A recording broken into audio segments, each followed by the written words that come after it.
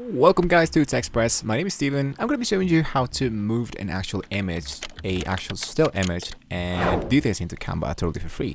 So the very first thing you want to do is to locate an actual image that has a lot of layers. I'm going to be doing this in two out of three different ways so we can try to look out for the best uh, tool that can be fitable for you or you need it. So uh, as you can see how this mountain that I have chose that I can see that it has more than I have one, two, maybe four layers that I can try to use to later on try to animate here into Canva. So if you wanted to get started here, what you wanted to do is to download Photoshop and if you don't have Photoshop, I can totally suggest you to use a free tool that is called Photopea. So what I wanted to do uh, to use Photoshop actually because what I want to do is to try to uh, let's say cut some layers and later on I can make the animation inside Canva. So uh, you can do this inside Canva of course but it's gonna be a little bit more tough than that. So what I want to do is to either choose Photoshop or use Photopea. Photopea is a little bit let's say um, similar to Photoshop so this one is actually totally for free so this is like uh, really really a lifesaver. So what I want to do is to make the of my image and then later on I want to import that into Photopea and as you can see I'm now inside here. So what I want to do is to choose the actual magic wand and if I click let's say for example this element what I want to do is to try to locate the actual layer.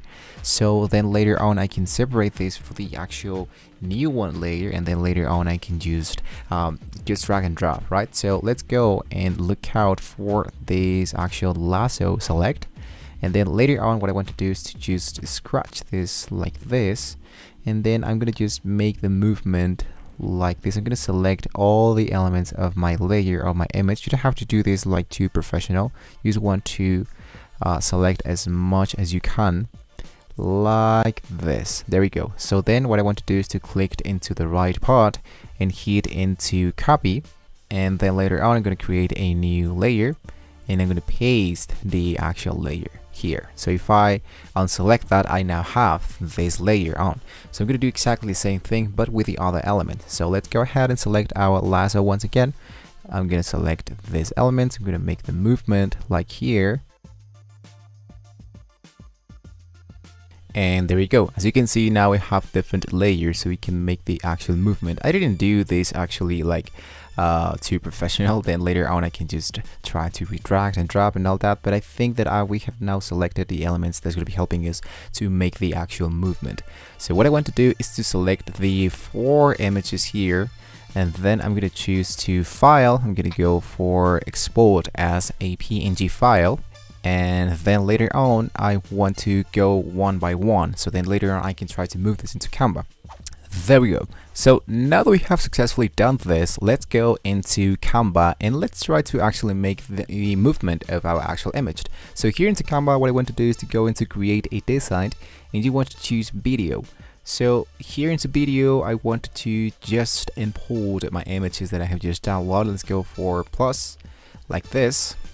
And then let's go and try to look out for another kind of template because I think that we what we can do is to okay, head down with the mountain. Let's go for elements. Let's go for sunset mount. So let's say for example that we use this image. There's a lot of movement here, but I don't want to see the water so I'm gonna just free drag and drop like this so now we have chosen that element let's go into upload and upload uh, all our layers our different layers that we have just selected to import those into our actual images.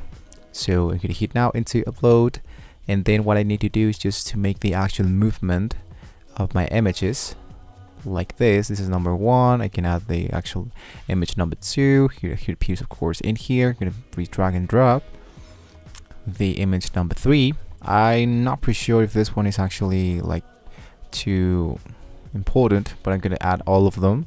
And there we go. So what I want to do now is to make all these elements look a little bit more big enough so I can make the actual movement of those.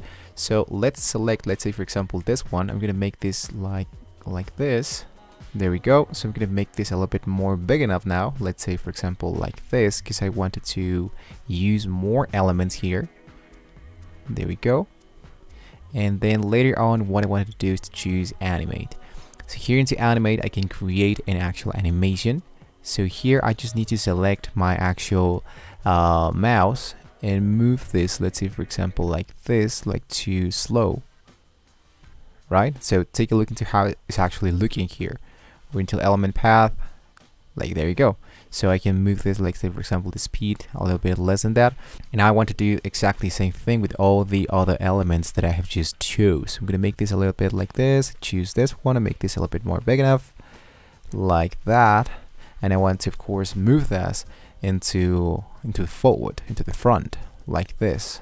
And then later on I'm going to do exactly the same thing with this new element which is actually this one. And once again I'm going to bring this to the front. And there you go take a look into the actual movement of my image. So I make that the actual element moved with the actual layers. So this is the reason why I told you guys that maybe what you can do is to try to use, let's say for example, like another background. So you can see that the clouds or it's raining or whatever. So you want to choose a similar image, a similar background. So you can see, you can have like the uh, element now a little bit new, looks a little bit like better than that. So what I want to do is to delete this one and I'm going to do exactly the same same thing with the actual element that we have just added. So I'm going to go into elements and I'm going to select this one, for example, here. So for example, if I choose the layer and I send this to the back, take a look into the actual colors. So what I can do is to try to make a little color correction here. So this one is going to be filled a little bit more into my image. So I'm going to make this a little bit more warmer. Uh, the brightness, I'm going to leave it like this. The contrast I believe it's okay to leave it like that. I have the shadows the highlights and then later on I can change the vibrance like this. And the saturation of course I'm gonna make this a little bit more like that.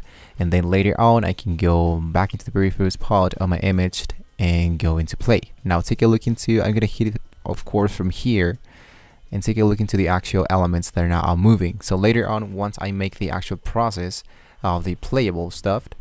Uh, later on I can just delete the parts that I don't want to see. For example here does not appear as one stuffed. I don't want to see the fade. And then later on what I want to do is to make some treatments so we can do something like this. So if I go into create a new page I want to go into my elements for example here. And now let's say that I wanted to look out for some mountains and here into graphics so here into graphics, let's say that I wanted to use exactly the same process. So I'm going to select, for example, this image. I'm going to make this a little bit more big enough like this. And there we go. So what I want to do now is to make this a little bit more, a little bit more bigger than my image like this. So I'm going to make the actual element to be animated as we did before with the actual layer.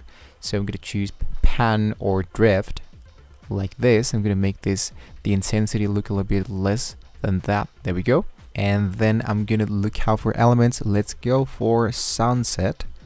And here into sunset, I can choose uh, all, see all. And I have all the different graphics. For example, let's say that I wanted to choose something like this, for example. And then later on, I can just leave it like that. Since this is a background, we don't want to move it. We just want to leave it into the back side. So let's go for layer send to the back. And there we go. So if you wanted to make this a little bit more brighter I can try to rotate this like that. And there we go. So lastly let's see that I wanted to add like some bicycles. So go for bicycle here. There we go. So I'm gonna hit now into graphics.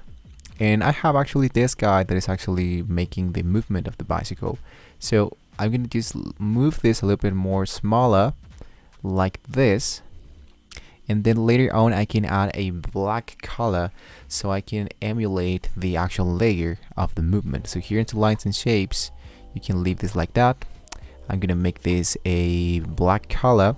I'm gonna move this. Let's say for example I'm gonna leave it like this so see how we can make the actual movement of my image like just by making our font, our layer move from one place into another one.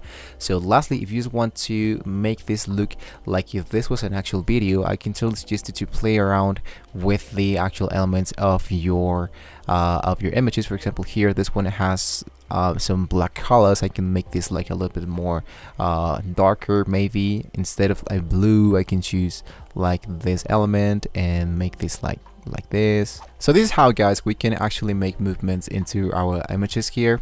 With that being said guys we have not reached into the very end of the video. So don't forget to like and subscribe to the channel if you want to see more amazing tools about the actual Canva thank you so much for watching the video and with that being said, I'll see you next time.